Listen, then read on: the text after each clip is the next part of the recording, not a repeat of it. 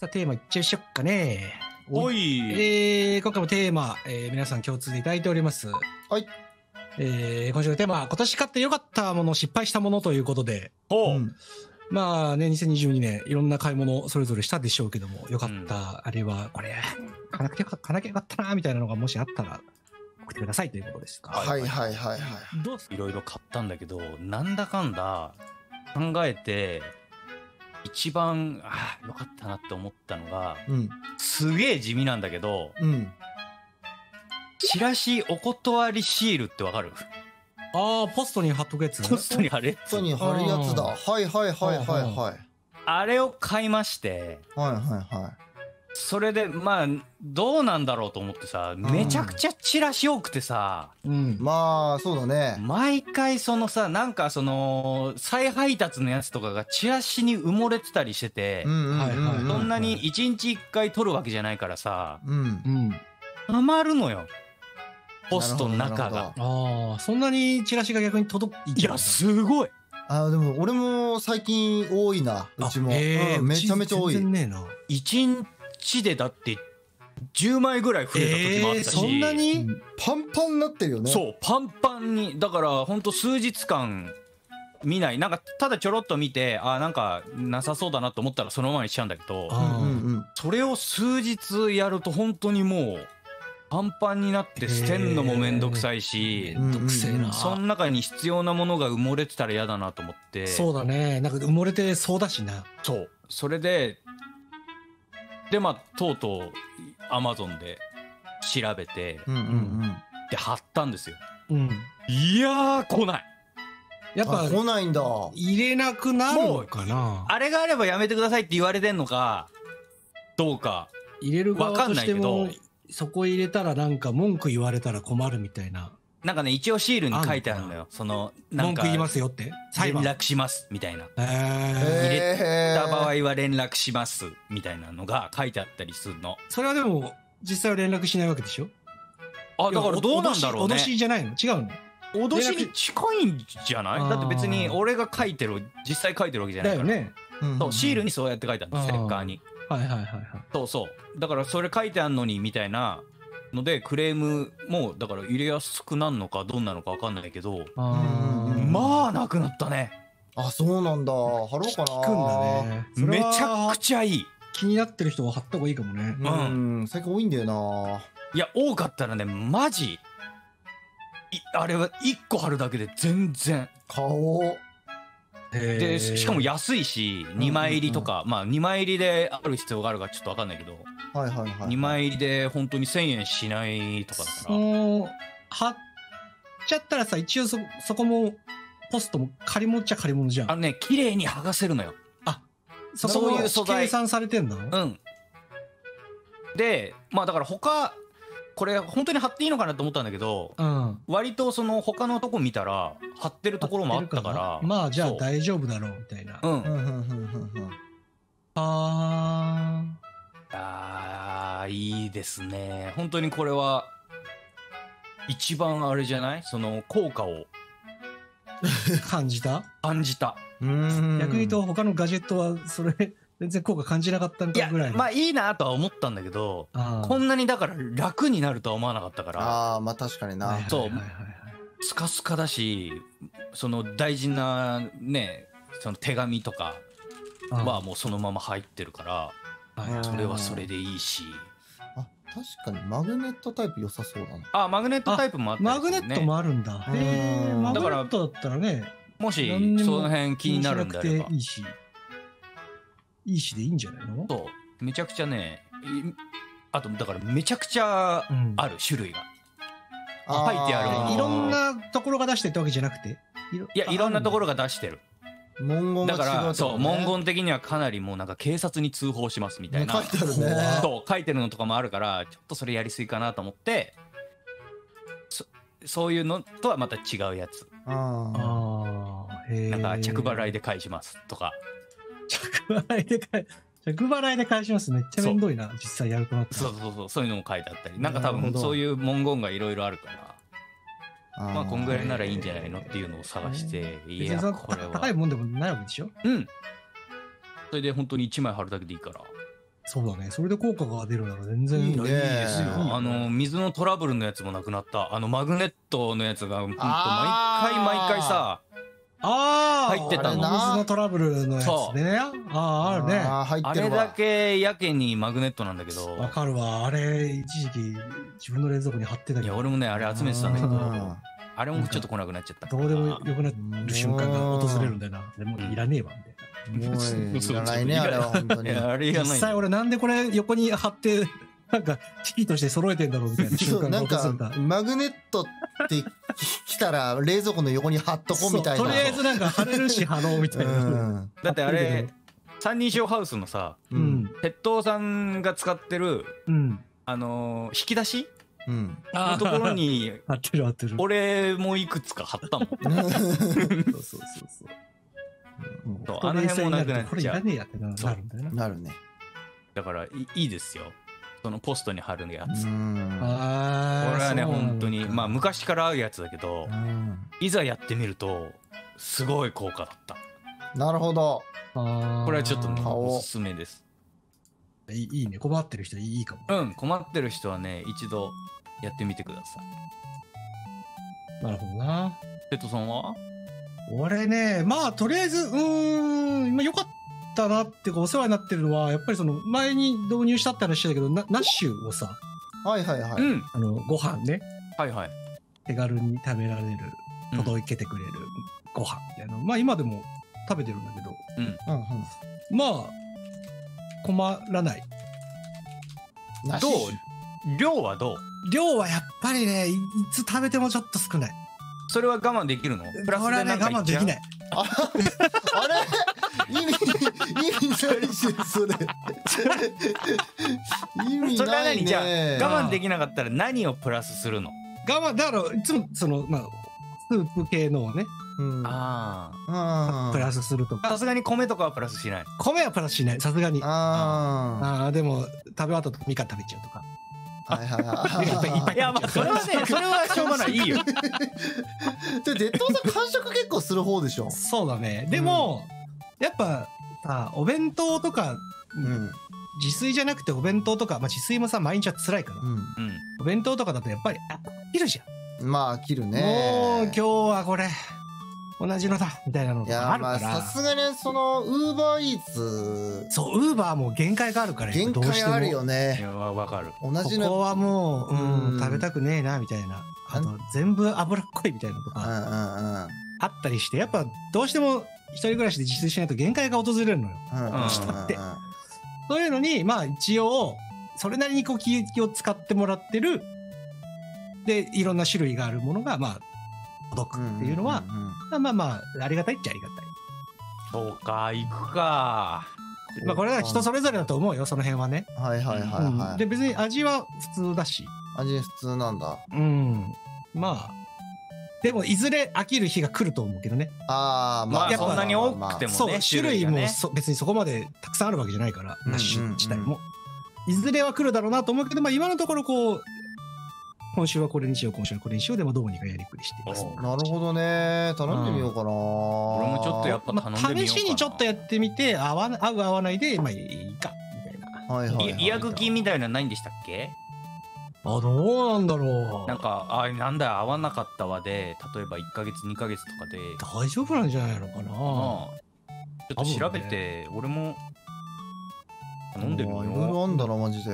試しぐらいだったらいいとは思うけどね。うん、ただ、冷凍庫、うん、うんかなり占拠するから、ああはいはいはいは1週間で、例えば1人分だとしても、6、6食 ?6 食か？7, 7食 ?6 かな？いあ結構だね。そう、からボンボンボンボンボンボンって届くから、そうか。それで、例えば今週ちょっと食べなかったなって、うん。次来た時に 絶望する。あやばいねそれ。入らないんですけど、みたいな。あれ俺そもそも冷凍庫そんなに大きくないんだよな。そしたら、だから、ちょっとだから、毎日じゃなくて、うん。2週間で、まあ、冷凍だから日持ちはするし、うんうん。その、2週間で 6, 個食べるとか、そのぐらいの、ああで2週間で届くようにとかできるから、なるほど確そういう風にすればいいと思う。いけるかな？なるほどね俺もだから冷蔵庫ちっちゃいのよ、本当に。ん昔から使ってる冷蔵庫で。ちょっと大きくしてるかなと思ったぐらい。あーこれをあれで。そう、だから配達間隔はちょっとしっかり調整する必要が。まあこれはウォーターサーバーとかもそうだけどね。うんうんうんうんあの、配達期間ちゃんと調整しないと、そうだよね大変なことになるよねなるなるなるなるマジで溜まってくから、自分に合った。この、だこの週は俺ウォーターサーバーとかそうだこの週ちょっとスキップしようみたいな。うんうんうん全はい然使ってないからみたいなのも結構やったりするから。スキップいいんだスキップできる。あそうなんだうん。今週はちょっといいっすみたいな。今週いりませんでいいんだなんか金額もそこまでなんだね。まあそんな、もちろんそのね、人それぞれだからさ、こういう金額感って。あ高い安いはそれぞれあるんだろうけど、まあ俺は、まあこんなもんだったら、そうだね。うまくもう高くつくし、送料とか考えたら。いや意外とさそのコンビニでご飯買ったりすしてもさ、うん。言うてなんかプラそうなんスでさ、ね。何か買ってとかやってるとさなんだよね。だかんだするじゃない、コンビニも。そうする。する料理も余り物とかでちゃんと料理できないと、ちゃうからね。結そうね食材ちゃんと計うん画的に買ったりとかってそれ以外だやりとねくり上手じゃない限りはちょっとね、やっぱ、うんどうしてもかかっちゃうから。まあそう考えると、っていう感じなるほどではあるかなっていう。うん。えー、続きまして、ペイさんと誕生日一日違いさんなんですよ。おめでとうんめでたくねえだろ。うんまだまだだぞお前うん。嫌だわう そこまで言わなくてもいいんじゃない？えー、皆さんこんばんは。こんばんは私がこ、僕が今年買って一番良かったものは、マウスとキーボードです。おお、うん今年の初めにパソコンを買って、パえー PC ゲームやり始めました。特にこだわりがなく有線のマウスとキーボードを買ったのですが、えー今回は無線デザイン重視で買ってみました。ううんんロジクールのえー G502X と G913TKL なのですが、ああさん一緒だ。これも一緒かな。キーボードキーボード一緒だな。キーボードどんあのフラット鉄塔さんは違うかなあ、フラットのやつじゃないのか。白いやつでしょでも。タクタイルだ。白いやつ？G913 タクタイルだから多分白いやつだね。ああ。同じじゃないかな、これ。天気いいです天気です。あ鉄塔さんもそうさんあれ変えたんだじゃそう、前はやっぱ天気いいなきゃと思ってたけど、あうんちょっとすげえフフラットな感じのがいいなと思って、うんうんうん変えたんだよ。同じかも。ロジクールの G502X ってどんなだっけ？502マウスああ、横、マウス。横の、あれか。あーちょっと斜めになってる。あーあー、あーあうんー、うんうんうんこれも俺持ってるかもな。最近出たんだよあこれこれは持ってないやつかも。これ新しいやつ軽くなったやつ知らないよ。へえ、そうなんだ。へえサイドが、でっけえな、サイドボタン。2個。サイドは 3, 3個だね3個あるんだ。そうで左クリックの横に2個あるうわ、ほんとだ。ここどうやって押すの？あ左？へえ昔のシリーズからこのやつはそうだねあこれもこれあ。持ってます結構良さそうだね。うんそうそう前そう軽くなったのようんうん。いいですえー私の今年買ってよかったものは、うんパソコン用のキーボードです。多いねやっぱり以前、鉄塔さんがコンビニ ATM のお話をしていたので、420回の雑談の時に、セブンイレブン銀行の ATM のボタンは、これあれが俺がすげえ押し心地がいいって話をしたやつあね。ー音もいい。えーその ATM は、静電容量無接点方式が採用されてるから押し心地がいいんですよ。私は毎晩最寄り駅にあるセブン銀行 ATM のボタンをスコスコしてますよというお便りを送ったところ、うんうんうん。いましたね。えーえーやばいだろうと思うさ。ん、うん。えーペットさんは何らかの犯罪じゃないのという温かいお言葉をいただきました。温かいか、えーうん。その時ペチャンコさんからリアルフォース変えようの一言で私は気がつきました。はいはいははい。いはいリアルフォースっていうのはキーボードだね、ううん。んえー自分でリアルフォースを買えば家から出ずに好きなだけ静電容量無接点のボタンをスコスコできるじゃないかと。うんうんうんそこから本当に早かったです。すぐにネットで高級キーボードを注文。さらには職場でも自宅でもスコスコキーボードを使うために同じキーボードをもう一台買いました。ああ言ってるねよっぽどこのスコスコしたかったんだね。ねあおかげさまで今では自宅ではもちろん職場でも好きなだけキーボードをスコスコしてます。まあ少し少ししてっかまあ気持ちはわかるわどこも揃えたくなるのはそうだね。うんやっぱ違うと、ちょっと違うなって思うもんね。ううんあの、タニションハウスと家とで違うとうん違うなってやっぱ思っちゃったりするもんね。うんうんうん同じに環境じゃないと。特にゲームとかだとね、如実に差が結構出るね出るからね、持ち方違うとか。えー、続きまして、うんコンさんさん、女性の方。はい。ロンさん、ペーサー、テトさん、こんばんは。こんばんはあ私が今年買ってよかったものは、スイッチボットです。スイッチボットスイッチボットウィッチ。ボットスイッチボットとは、今ある家電を遠隔操作できるデバイスです。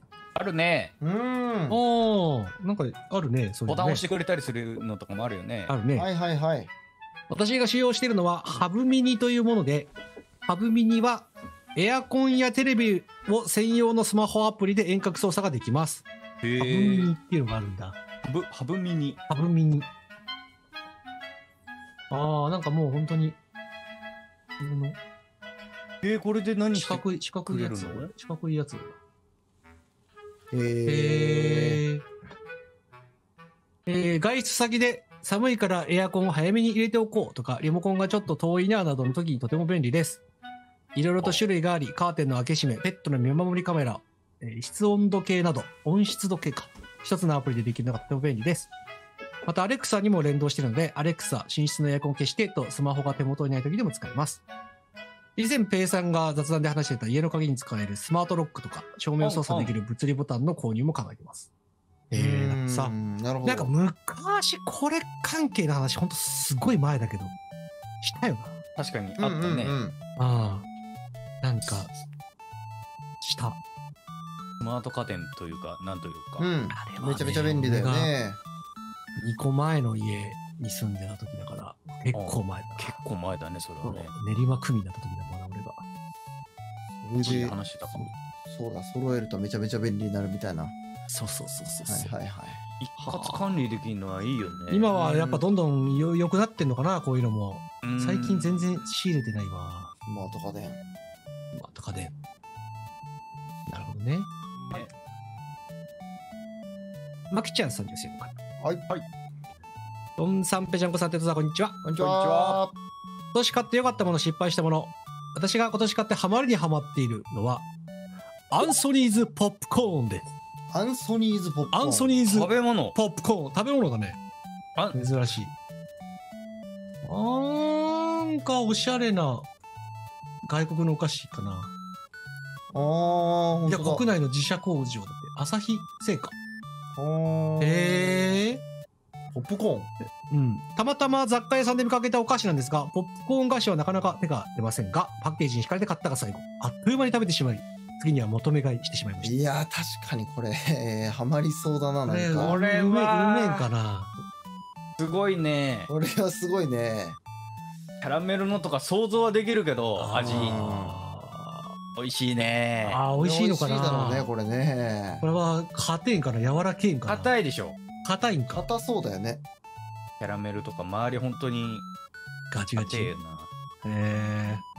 えースーパーなどでは見ない商品のためここの雑貨屋さんから聞いたら Amazon か楽天かなと思うほどハマってます。へー。私のおすすめはキャラメルアーモンドです。ああーまあポップコーンはね。あなるほどな。いやーいいな。甘そうだけど美味しそう。うーん。そうねえー、続きまして。はい。おかゆうま次郎さん。はいはい。はい。皆さんこんばんは。かゆんばまんは。私が今年買ってよかったものは室温で凍るネッククーラーです。室温？室温で凍る。室温部屋の温度。はいはいはいはい。室温、えーこれはアイスリングやひんやりリングという名前で売られている首にかける輪っか状の商品で猛暑の夏は大変お世話になりました首周りを冷やす商品では今も今までもありましたがどれも冷凍庫で凍らせなければいけなくて溶ければ周りが濡れてしまうしちょっと面倒でした。うんですかこれはクーラーの消えた部屋に置いとけば勝手に凍ってくれるしね。溶けても結露しないへー。固まってもそんなに重くないし何度使ってもちゃんと冷たいしとても使えば。へー。何中身どうなってすごいな。そうなの。なんかすげえコメントだと流行ってる。買ったなみたいな。あそうなんだ。そうなの。いいんだこれ常温で凍るってえ勝手に凍ってくれるとかなんで常温で凍るの？なんなん？28度以下で自然に凍結し、だって。へえ28度以下って結構あったかいぞ。そうだね。なんで凍るの？僕ない？あのー、ななんてやつだっけ名前？えっ、とね、アイスリングとかひんやりリングって名前で売られてるらしい。ネックリング。ネッククーラー。へえあのーカズかなんかがやってたぶん回して冷たくなるタオルもちょっとタオルね。あれも不思議だったけどさ、うん。うん、あれは一時期使ってたけどなんか濡らすのめんどくせえと思って使わなちゃった。けどあうん。すげえなこれ。えへー。使い回せんの？そうじゃない？一発じゃない。28度で凍るってすげえなマジ。えだってリリセットするにはどうすればいいの？リセットはだからしないんだよ。基本凍ってんじゃない？え？それか外気温が高い時に溶けてく。使い回せる。もっとね。何度でも使えんだ。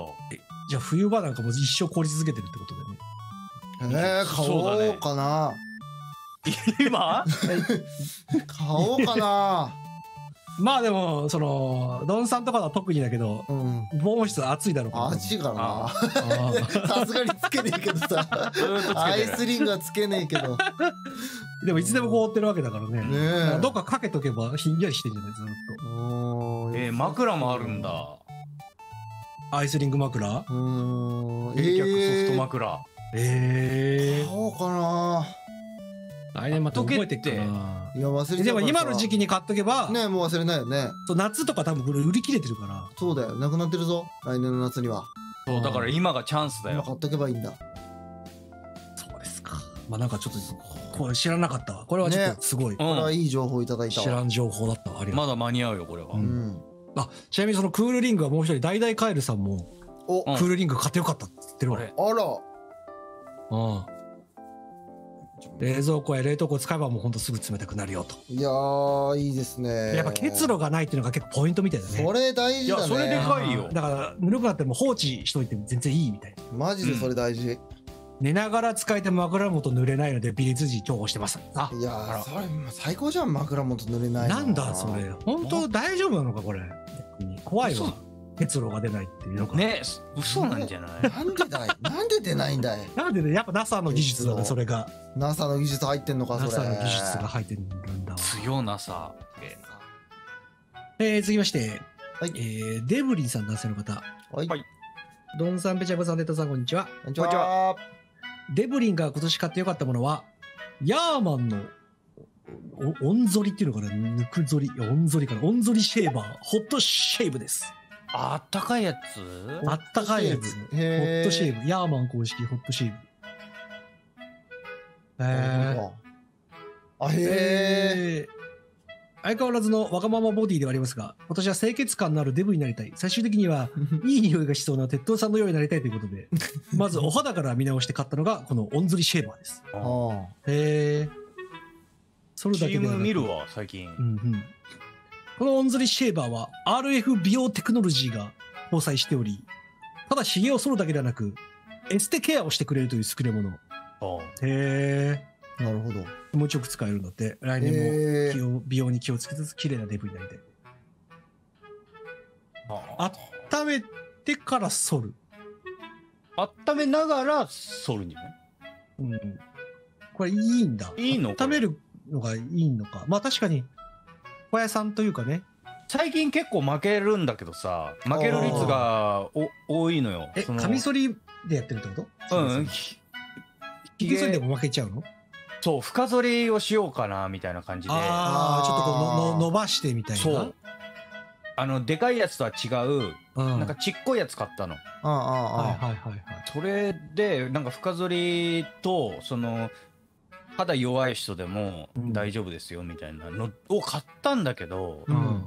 深剃りをしようとするとやっぱね負けんだよね。えー。なん、かひげ剃りでもうん。なんかねえー洗顔してからやった方がいいのとそうだね、あるね。そうじゃないのとあるんだよね。うん。しちゃんとこう、クリームじゃないけど、なんかやってからやったそう方がいいどどっ。ちやらせたか忘れちゃったな。クリームとかクリームいいんだけどさううんん。その後は必ず洗わなきゃいけないわけじゃんうそうだね。んうん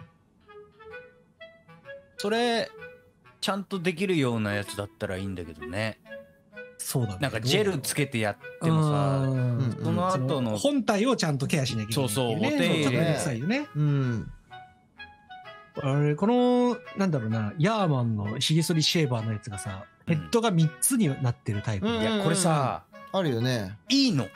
ここ俺なんかさうん。し俺も調べたのよ。前欲しいなって時はいはいはいに5枚刃のやつかこういう丸いやつ。うん。うんで丸いやつだとなんか深剃りがしにくいとか。いやそうなんだよ。俺、昔、て成宮くんかなんかが CM してたううん。ん3つのやつ買ってみたんだけうんうんうん。ど、ちょっとなんかね、合わなくて、あんまりそれた感が、あやっぱそうな俺のはね、今はわかんない。結構前だから、うんうんうんそれ。の俺もしなくて。そう、やっぱ、いつもの、ね、いつものって言ってもわかんないけど、そうそうそう。もうほんと普通のヒゲ剃りあうんうれねん。のやつ使って、まあ、こっちがやっぱ使いやすいかなと思そうってたんだけど。そうって聞くからさ調べたりしてもさ。ううん。ん。だからちょっとこの丸いやつ挑戦できてないんだけどどうなんだろう、でもこの、抜く剃りは。ぬくぞり抜くって。ぬくりたいね。抜くったらやっぱいいのかな。ぬくりながらひげも柔らかくなるのかな。そうするとさやっぱ剃りやすくなるんじゃないか？そのぬくりとはまた違うのかな。どうなんだろう。でもその抜くりってことなんじゃないかな、ね。目指すべきは。うん。なんか多分負けるのにはやっぱ理由があるから。いけるんだよそうだね、負ける、最近のヒゲ剃りでも負けちゃうっていうのは結構うん理由があると思うな。うんなんかしらあるはずかなり雑魚だと思うかこの 相当雑魚だら。うん。やっぱよくできてるじゃん、最近のヒゲ剃りって。うん負けづらいように。うんでそれでも負けるっていうのはもう本当多分勝つしかもさ負け出すとさ 負けで一回負け出すと、う。うんんやっぱ連敗が続くわけじゃん負けてるところにもう一回やるとやっぱ負ける。そうだね。まあ負けるね。負けてるところにやったら勝つことはないね、少なくとも。そう。う。んでもさ傷が増えるから負ねけ負けてるからこそじゃあそこをしないわけにもいかないでしょ。いかないね。だからちょっとだね。だましだましひょいひょいひょいとかやってうん。騙すんだけどうん。いや負けんだよね。負けたくないんだよ。あれ、電動のヒゲ剃りがダメなんじゃないの？逆に。普通のうん多分電池入れるさ。すっごい乾燥してる状態でやっちゃってるだけじゃないの？あのねそれもま違た難しくてうん。なんかさこうしっとりしてる時ってさ、ちょっと引っかかるじゃん。ひげ剃ってると。やっぱこうんううん。水分がある分、うん。それはそれで負けるんだよね。でも水分量多い時にやった方がいいいいんで確かでもそれはそうだと思う。多分多うん。分確かに。そうだと思う。それはジェジェルとかでのやつ？あいやいや普通に洗顔した後とか。洗顔した後？うん。うん。確かねそうだった気がする。いやなんか突っ張ってるとさうん。負ける時もあるんだよね。突っ張ってると負けるあ。肌が突っ張ってる。洗顔してなんか突っ張るじゃん、うんそれでねなんか負け出す時があるからどどのタイミングでやるのがうん。一番そのいいのかっていうのがちょっと分かってない。うん顔面のそのコンディション的に。やっぱでも一番いいのは、その、蒸らすのが一番いいんじゃないのかな。あねなんか。うーん。顔剃りとかやってくれるような床屋さんとかだと、やっぱ蒸らしてやるからね。そうだね。だクリー多分ムって。そのカッサカサなんじゃない？乾燥肌乾燥肌なんじゃない？多分。すそうだね。化粧水はつけてます。化粧水はねさすがにつけるようになり化粧ました。水もだからもうすぐす吸い込んじゃうんじゃ吸い？ね。込んだらすっぽい やっぱそしたらこの抜く、ひょっとしたら抜くがいいいいのかもしれこれない。抜くいや抜くった方がいいかもね。抜く効くかもしんないぞ。これ抜く？抜くしてみようかな。そう、またお日頃のそのお手入れとかがどうなのかだね。そうだ。ね。めんどくせえと。ね。まあでも防水であるみたいだから。うん俺風呂で使うのをやめたもんね。めんどくさいから。管理がめんどくさくなるから。匂いもなんか変わっちゃうじゃん。一気に。な何の匂い？いやあのし本当にそのしっかり乾かさないでさ置いたままにするとさもう終わらない？ああ、そうだね。髭剃りとかね。ひげ剃りとか髭剃り？ひげ剃りとかうん。を風呂で使ってうん。ちゃんと外してあの乾燥乾燥させてね？そうさせないともうなんかちょっと変な匂いしだすよね。そのまま置いとまあ、くと、するかもしんない、そしたら。そうか、うん俺は風呂場ではやってないからわかんないけど。俺結構風呂でやってそのままあのうん。風呂のさあの乾かすやつがついてるから乾燥、乾燥。ね。そう。はいはいはいはいはい。それで、まあ、まずタオルで拭き取ったらああ置いうん。置いといてああ、まあまあ、あそこまでやそってんなれやってんなら多分、ら。うん、だから、全然ほほっ問題ない。とかないならいいんじゃないかな。そうそうそう。それがさ面倒だから。まあ確かに面倒。そう。やんやんなくなっちゃった。多分。えちょっとこの、ん。丸丸いのが不安だけどちょっと行ってみようかなこれ。ちなみに、いくらぐらいですまあ、と結構髭剃りするからな。4万。あやっぱそんぐらいするんだ。結構するな。俺今3万くらいじゃなかったかな。俺のでもブラウン、え、俺の、いやえ確かね3人ほぼ一緒のやつ。一緒だと思う、うん、そうだね。ブラウンのはなんか、ちょっと太めのやつね、多分。そうか、するな。うん、いや高えよお前ちょっと、その失敗が怖いな。でも俺うん。元は取ったよ多分ブラウンの。あれも高いあー3万円ぐらいだったけど、もう俺もブラウンのそろそろよだと思ってんだよな。4年とかあ使ってるね。結構もう結構前から使ってるから。俺2年ぐらいか、3年ぐらい。俺まだ多分1年ぐらいかな。あ本当？うん。元は取ったと思うんだよね、なるほど。でもこれで失敗した後にじゃあ戻る戻らないでさねえそのそね。れそれるかそれないか本当やってみないとわかんねえからな。いやそうそうそう。なんだよ。深く行きたいのよ。はさ、お試しもできねえしさ。できねえんだよな。電気屋さん行って剃るわけにもいかねえもんな。うん。そうなんだよね。電気屋さん行ってそれのね。うんだから昔のさブラウンブラウンの CM みたいにさ。モーニングリポートしてもらうモーニングリポートしブて。ラウンモーニングリポート。そう。ちゃんと言ってね。トントントンあれ剃ってきたんですけどね。そうそれあれをやってほしいよね駅前で。そうだね。ん。そうすりゃ買うんだよ。うん。ヤーマン、ヤーマンモーニングリポートね。そうそうそうモーニン モーニングリポートしてくれれヤーマンばがやってくれればうな。わこれすごい買いいますっつってうん。すぐ買うんだけど。そうだよなやらせてくれたら買うよな。ね最近やってないっしょ。やってない。ブラウンも最近やってないね。ヤーマンもうん。うん。いやちょっとやってくんないとレッドブルのさあの無料で渡してくれたりするじゃん、ああもらえるね確かにね。そうそう駅前とかかでたまにやってたりする。ああいう感じでさだからヤーマンの前にないの？ヒゲ剃りが無料で、なんか、めメガネ洗浄できるみたいな感ああヤーマン専門店じで。の前に？うん。ヤーマンの前に。あるんじゃないの？じご自由にどうぞ、ヒゲ剃り。ね欲しいよね。ないのかな？そうか、そうか。いいや、ちょっとまあ気にはなる。ああえ、あえ。なら全然いいけどな。高い合う合わない分からんまま4万か。ちょ。っと使ってみてや。あー買うわ。あ俺これ買って試してみるあわ。ああちょっと頼むわえ、ちょ貸してや。いや貸さない ヤーマンモーニングリポートはしない俺え、は俺にモーニングリポートしてよ。できないでちょきないっといいですか？っつって、急に街中で。ヤーマンモーニングえ、リポな、ートしないなんですか？ってやるから、ちゃんと。動画回していいよ、そこ。あ本当？んですか？っつって。うん。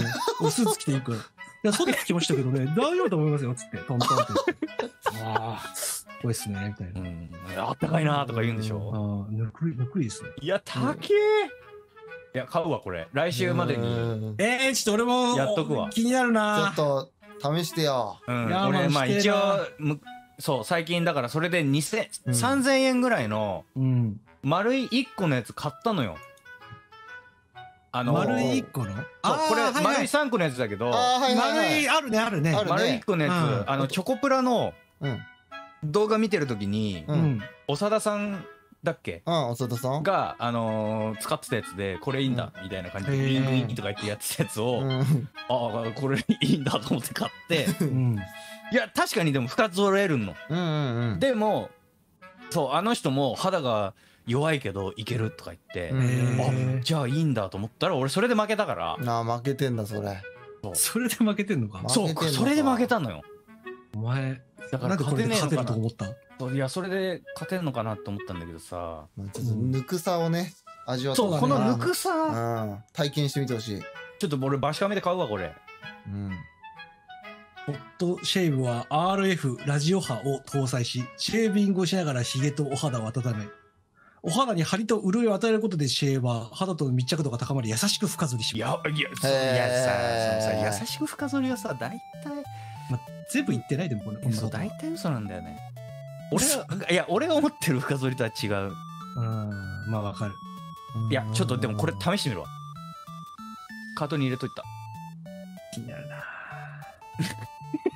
いや待ってだから俺が鉄道さんによく言まあうでしょ、確かにね。いい、うんいいものは鉄道さんに言うから俺はじゃあちょっと来週ので俺も決めるわ。あそうだね。ペイさんのリポペイさんのリポートで。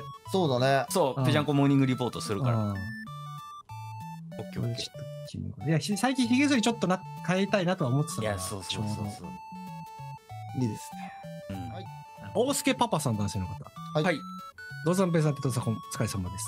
お疲れ様です、はいお疲れ様です。今年買ってよかったもの、それは、ディファのビ、ビューテックドライヤープロです。ドライヤーだドライヤーか。うん。妻曰く、美容院でも使われるプロ仕様のドライヤーそだそうで、うんうんうん。あのでけえ結構お高いですが、美しい髪に仕上がるようです。うん。私個人は美への意識はありませんが、2歳と5歳の子供たちがドライヤーを嫌がらなくなったこれが収穫でした。うーんこのドライヤーは自動的な温度コントロール機能により髪を60度以下にキープし、美しい髪を熱から守る一方で、子供たちが熱、熱がることはありません。何また非常に速乾なので、飽きる前に乾す乾くことができ、生乾きの状態でベッドにすることはありません。えー今何？そんなすごいの？いや俺ディファのビューテック、いやドライヤー。いやお金なくなるお金なくなる。絶対高いでしょ。山さでいやなんつった？山に山や山さでって言った。山山さで山田で高っトップサロン共同開発。スタイルが変わる、指通りが変わる、まとまりもツヤも速乾まで。いや今使ってるやつがさ、うん。あのー風量弱いのよ。静かなんだけど。はいはいはい。さあなの。風量弱いのもうダメよね。ダメよ風量弱いの。風量がね弱いんだよね。いや、ドライヤーも俺結構長く使っててさ。ううん。んああ、まあ、そうね。あの俺が憧れてんのはうん。いいのか悪いかは知らないけど、うん。ダイソンのやつあるじゃん。あ知ってる？ダイソンのあるね、ダイソンの。丸丸っこいやつ。あれをちょっっと今憧れてるんだけど、うん。絶対高いだろうなと思っさ、あれてど、どうなん？いやわからない。だからあれ値段も俺調べてないの。絶。対高いだろうし。ううん。ダイソンは高いんじゃねえかな。しかもなんかいろんなアタッチメントついてああそういやでもそうそうドライヤーも別になーなーで使い続けてるから、絶対もっといいやつがあるんだろうなって思いながらそううんね。それはわかる。やっぱ速乾っていいよね。いいよね。いやーもうドライヤー嫌いなんだよね。いやわかる。俺も嫌い。面倒なの本当に。そうだね。髪が。行かない時ない？行かない時本当にたまにある。うん、うん。うん、俺も今ちょっと伸びてきちゃったからやっぱ行かないとあれだけど短い時とかもう全然行かないから、うんタオルで拭いてそのままとかさ。めんどくさいもんね。あなるほどな。でもちょっとドライヤーか。いドライヤやーちょっとドライヤーに4万いくらは。ーまあそうね。俺だって今もう4万使ってっから。ひげ剃りにな。ひげ剃りに。俺8万。8万円だ。やばいよ。これで。俺それも買うわはちょっと勢いありすぎる。いやでも最近俺なんかそうちょっと乾きづらくなってきてんだよなドライヤーが内側まで乾いてない感じが。父さんそれもしかして え俺リファなんじゃない？リファ？ー俺ドライヤー買うの？教えてよ。よ。あじゃああそういい鉄塔さんそれ買ってもらって来週ちょっと報告して2人とも。で俺ひげ剃り。そしたら考えるから。ドライヤー4万3000買うの？でドンさん試しに家買ってさそうだね。来週までにさ後4000万悔したぐらいの。とこ教えてよ。後悔しか出てこねえよそれでだから俺らいいい家にするから。あそう。うん。いやドンさんにもなんかやってほしいよ。あんま売ってなくないか売ってんのか？え俺これ Amazon さあれじゃなかったですか？いや俺も今なんか適適当に俺ヤーマンのやつさ入れたんだけどさこれうん。1個だけなのかな？種類。ホット黒かっこいいな、ドライヤー。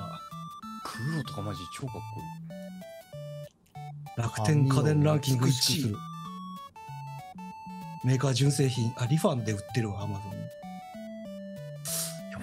4万3000円って、た4万3000円ってこの平気でポロって買っていいもんなの？いやーもうハイドロイオン出てるからねあー、うんなるほど。ハイドロがいいな、やっぱり。ハイドロよイオナイザーをうん全然信じてない。別にイオンとか。必要ないものを買うわけではないわけでしょ、うん。まあ、そうだ。俺もそのひげ剃りでうん。まあ元取ったしひげその負けちゃったりしてる分じゃあちょっと行こうだし、うん。鉄塔さん今物足りないと思ってるわけでしょ？えそう。確かに。でも物足りないかなって考えて物足りないって思ったんだよ。じゃあそれは物足りないんだよ。そういうなんかうん。俺なんか無理に無理してないか俺は。大丈夫か？全然今無理とは思ってない。本当？なるほどな。ドライヤーちょっといいな。まあドライヤーいいね。ちょっまあドンさんにしちゃだってね女性もそうだね。うんドンさんはだってさだからいいじゃん。奥さんもね普通に良さあそう。そうじゃん。普通に良さそうだね。じゃあドンさんでいいじゃんまあ。まあ待って待って。まあ待ってまあまあまあ。待て。鉄塔さんも意外とだからやっぱり。やっぱりなんかうんなんあなだろうこの。あながち嫌だと言いつつも。嫌だと言いつつもじゃん。買ったことねえわ。4万円のドライヤー。いやマジでな。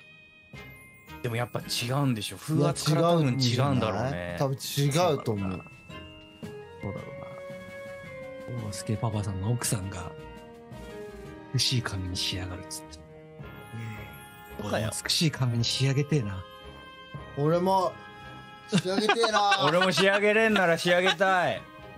じゃあ試してみるか。とりあえずカートには入れてみた。まだポチッとはしてない。わかる。俺もね俺もカートあのまだ。ひげひげのカートは入ってる。一旦ちょっと教えてほしい。そうだね。うんまだ確定はしてないわ。俺も確定はしてこない。のまま次へ行きます。うん。このままの状態で。はいはいはいはい。えーえー他にもいろいろあれまあちょっと簡単に紹介すると例えば頭の頭がハッピーセットさん女性の方と、うん。はい。えー、夫じゃさん男性の方は、うん。はい。えーロボット掃除機買ってよかった、おおロボット掃除機か。ロボット掃除機ね。ルンバとかいろいろあるけど。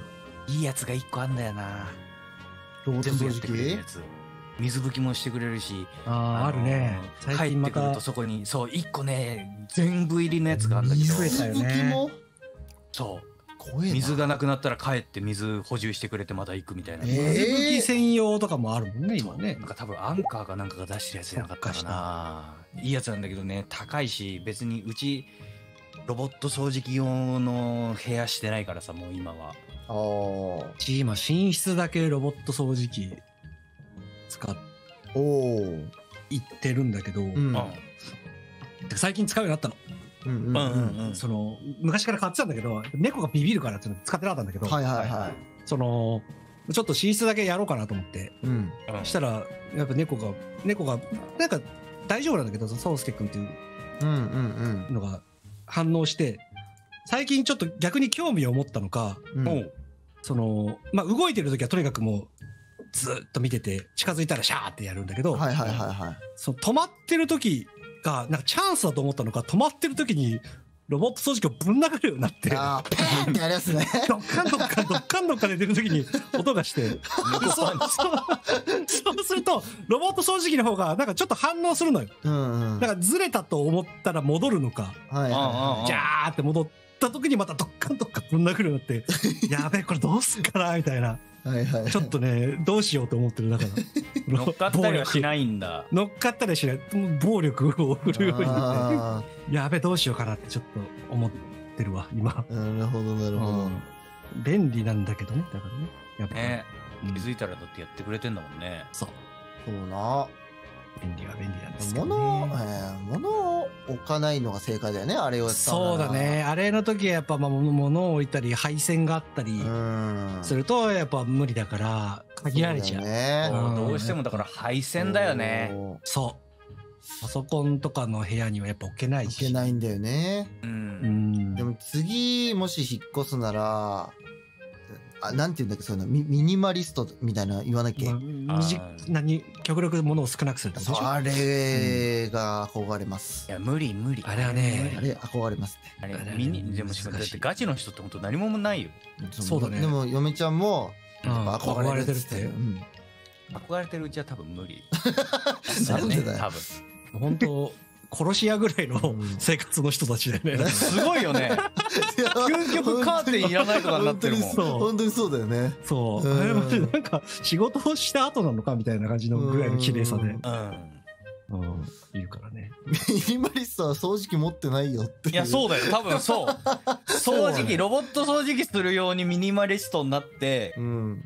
ロボット掃除機がないロボット掃除機もじゃあどうやって掃除するの？あれは掃除をしないんだよ。何もないから。掃除うん。何もないから 掃除しない。ほほこり取るだろほこりぐらいは、体毛とかもで、まあ、最悪だからそのコロコロだだけで、ああなるほどね。あとうんほうき。部屋数も多分少ないだろうしね。あーまあ確かにな。うん。やっぱり。1K 必要ないって思ってるだろうからね。そうだね。あー。1K。全部いらなくなるよ。だからドンさんのとかもね。ボーン室の後ろっ側も全部気に入らなくなるよ。全部真っ白になって そう。無理だ。ヘッドセット。無理だ。ヘッドセット1個だけ。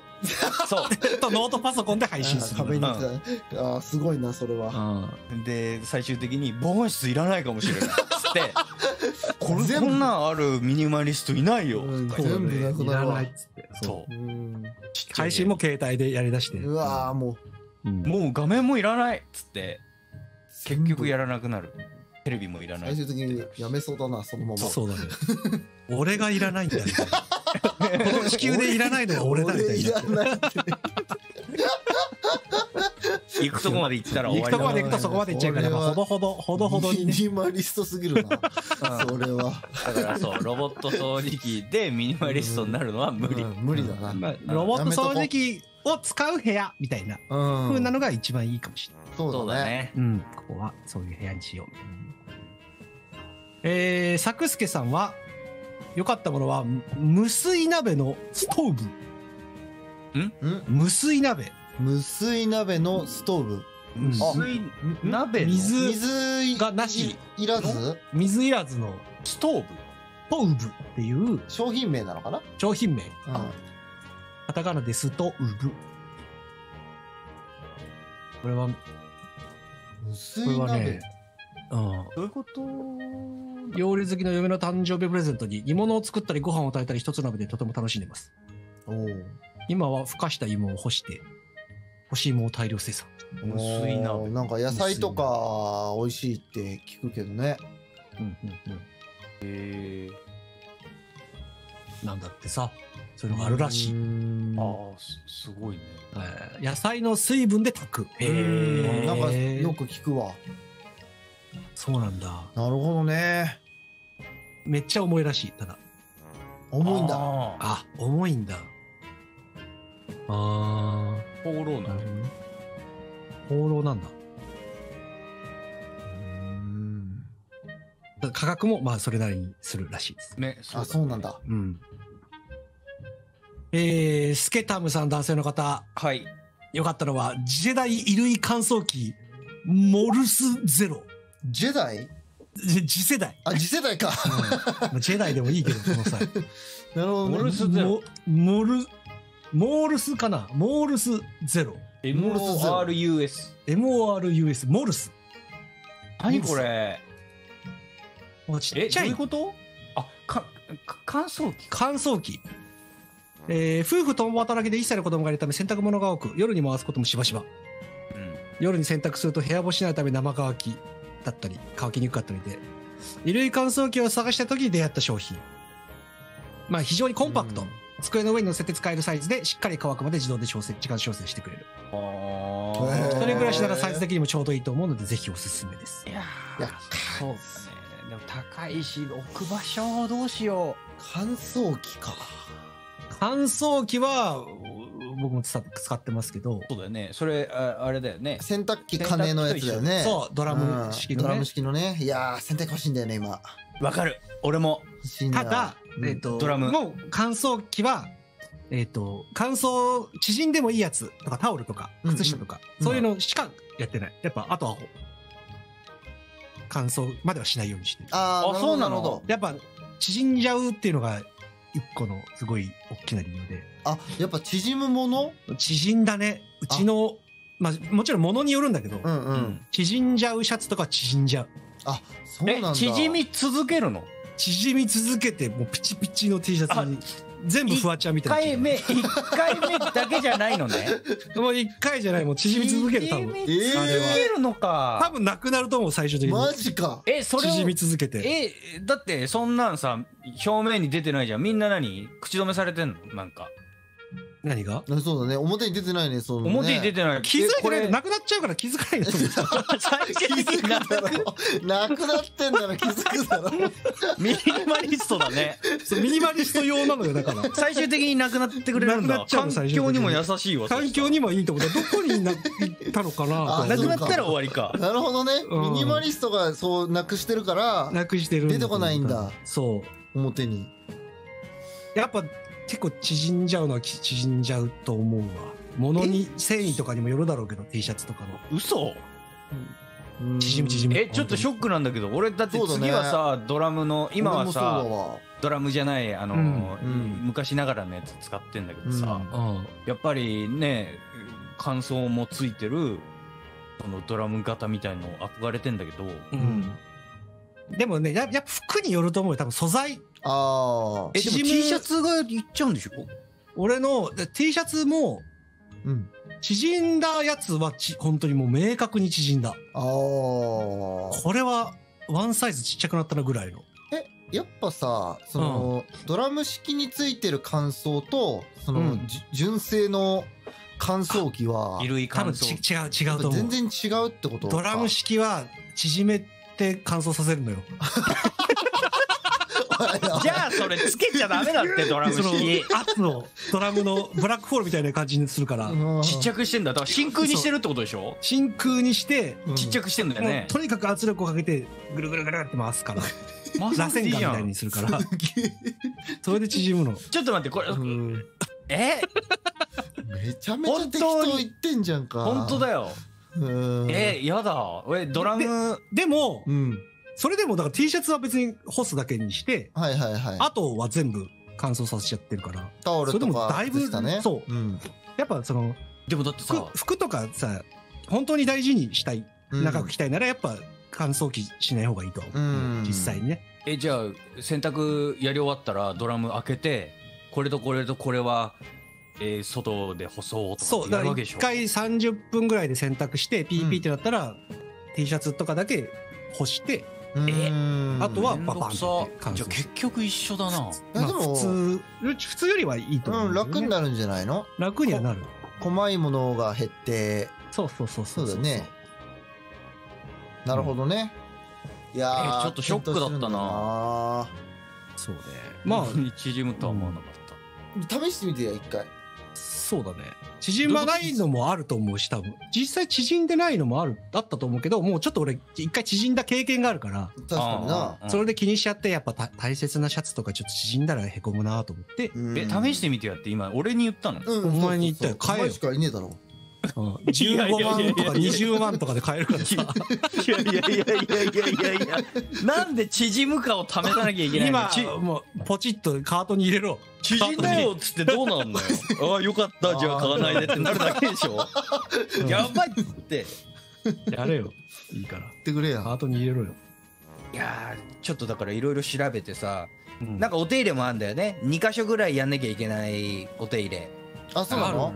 あるかな？糸くずが出るような。あ、そうそう。あのー。毎回毎回上の方に、俺のは上の方に糸くずが溜まるから、あああそれはもう毎回取って、はいはいはい。そうそう捨てて、みたいなのをやるやる今やんなきゃ、それはやんなきゃダメ。今の洗濯機もそうだな。なんかたまるよね。うんうん、そうそうそうそう。そうそう。あ本当？うんなんか横っちょについててガポって外せるやつが。あそうなんだ。うん。それは、でもそれはまあそんなお手入れっていうほどのお手入れじゃないから。うん。なんかきそんなに、綺麗に形取って溜まってる。そう。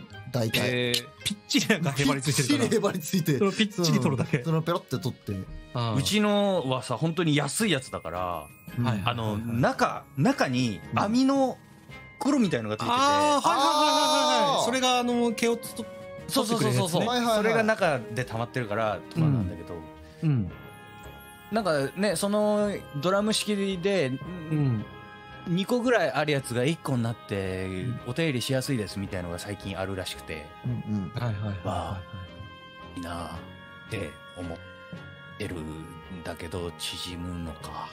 い。どうなんだろう。まだコメントでは縮まないっていう人もいるから、うんうんうん。まあ素材、そうね。なんかなのかな？マジで素材によるんじゃない？うん。あとはだからいいやつ。あとドラム式の乾燥方法が確かね、いくつかあるんだよ。なんとか式、かうん。なんとか式みたいな。うん。うん。うん熱式何式みたいなそう。熱式とか、縮ませ式とかがあるから、うんうん。縮ませ式？縮ませ式じゃない。俺多分縮ませ式を選んでる。それマスト誰が選ぶんだよそれ。それついてないのやべえってそれも乾きますよみたいな。多う分ん。ヒーター式とヒートポンプ式があるんだ。うん。それとかでもひょっとしたら、あんのかもね。ちょっとマジガチであの買いたくなったら俺ツイッターで欲しいやつ聞くから。ああまあそうだね。じゃあそれちょっとみんなそう縮まない縮まない式のやつ。そうだね。教えてくれれば。それいつつぶやくの？いや買いたくなったら。今。早くしてほしいな。今じゃないよ。買いたくない。来年行けたらいいなとは思うけど。そうか。ドンさん別に先に行くならいい。あいやいやつぶやいて。行けよ二人とも買えよ。ええけど。あいやいいね。やっぱ欲しいのあ多いな。や。ばい。えー、まあそんな感じでいろいろ、まあ他にも、えー、シャクちゃんさんは、シャークのエボパワーシステム ADV というコードレス掃除機が良かった。掃除あシャークか。かシャークのサメ。コードレス掃除機。サメの。サメだ。ねよかっダイソンしちゃってっか。た。そうなんだ。ね。重いんだダイソン。重いね重いね。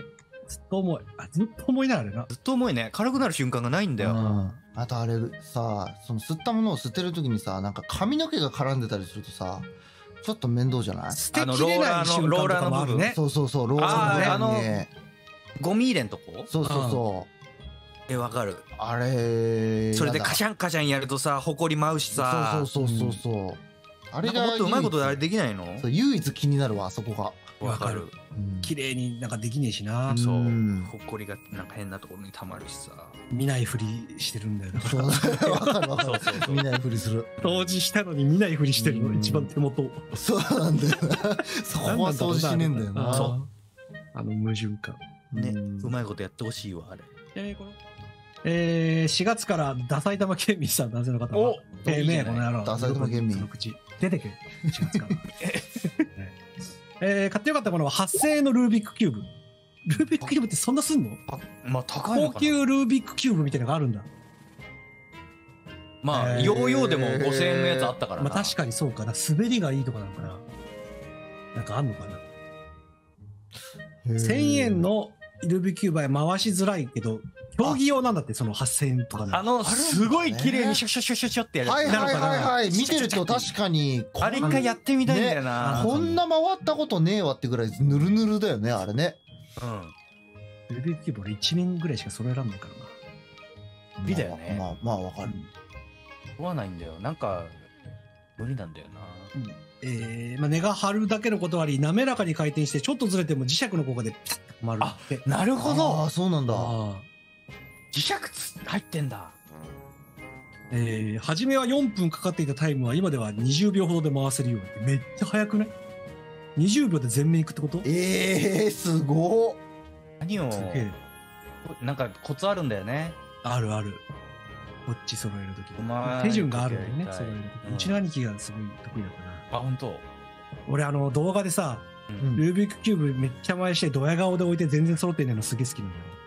あったね。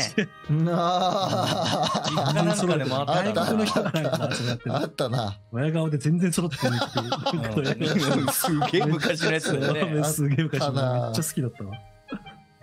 えー、他にもあなたのミルタンクさん男性の方は、おたまトーン買ってよかった。ああ。明和電機かなんかのやつだっけ？なんなん違ったっけ、音を鳴らすやつだよね、うん。ビヨーみたいな。あれ気になるき今気になるっていうか一回使ってみたい。面白そうだね、確かにね。えー、リンリンさんは、買ってよかったもの、全自動ゴミ箱投入。全自動？全自動ゴミ箱投入。豆乳あのビニールとかもセットセットしてくれるやつ？なのかな？ガチャーンっつって。なんかあるらしいな。もうゴミ箱に触れることはありません。ね自動センサーで蓋を自動開閉するだけだけど、面倒なゴミ袋の密閉も自動で行う。えあほらそれだ。強っ黒い、なんかゴミ袋をジャーンってくれるやつか。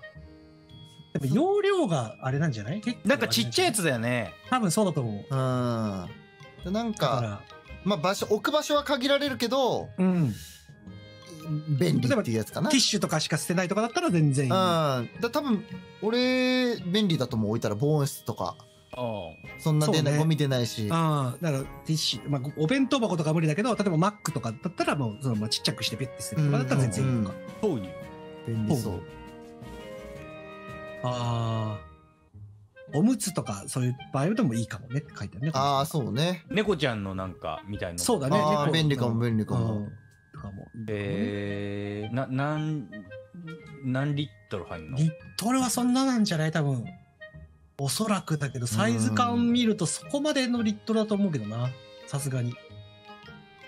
自動のゴミ箱自動のゴミ箱は一時期どうなんだろうって思ってたな、確かに。僕、手動だけど。そうね手動で良くなったりはするか便利なんだってさ、でも。使うとやっぱ文句なしだ。いやーやっぱりなーいいやっぱり、用途さえもしっかりしてれば全然いいんじゃない？いいのいいことを聞けた投入行く？行けよ。カードに入れろいやーちょっ。と。いいくらすんの？興味ありますね。投入投入はね。ドンさん。うん？投入ね。うん。い1万7000円だ。ああまあまあまあまあ。15リットル。15リットルか。あれ意外と意外といくな。いやでも4510あでも。16.6ってのもある。あれでもそれにしちゃでかいかちょっと。やっぱその、じ機械部分があるから多分上とかに、あと袋部分とかがあるから、ちょっとでかいな。ちょっと大きくなっ13もある。じゃないかな。うーん。でも想像より高くはないかな。うんうん。もうちょそうねいや全自動でやってくれるならもっとただその45万すんのかなと思ったけど。充電する必要が多分出てくるから、で一応袋とかもセットする必要はあるんじゃないの？もちろん使い切ったらねゴミああなんかカートリッジみたいの入れるっぽいけど。そうだよね。入れりゃゴミ袋も自動でセットしてくれるんだ。そう。それねそれ気になってたんですよ。フル充電したら45日間いや結構いけんなおい。いけんな。え何で動いてんの？それ。電気のそのあ充電方法何？USB。あ USB か。うん。